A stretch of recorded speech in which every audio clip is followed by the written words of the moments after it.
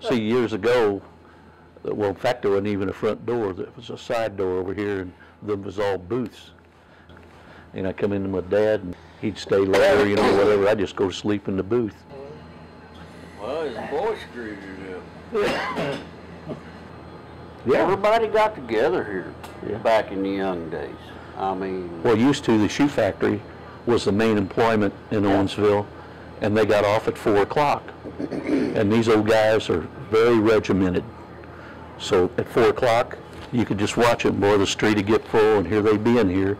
And at five o'clock, you could watch them, they went home for supper, because Yeah. that's when supper was, at five o'clock. yeah, Good guys. I, I miss them. come in and have a drink. Yeah, the old bar'd be full. So that's why, you know, I still come in here because, well, like I say, you know, there's still some of us left, you know. 哎？